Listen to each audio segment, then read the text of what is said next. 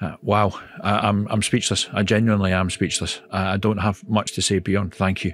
Uh, I was kind of taken aback when I got a message to say that I'd been nominated, and then to say that I'd won was like, mm, okay, I don't really know what to say here, except thank you.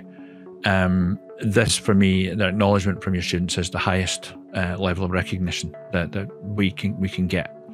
Um, so thank you for taking the time to nominate anybody um, and, a massive shout out to all the students who've been nominated through the, the, the programme uh, reps and, and Inspiring Student Awards. It's great to see how many of those names that are, are recognised.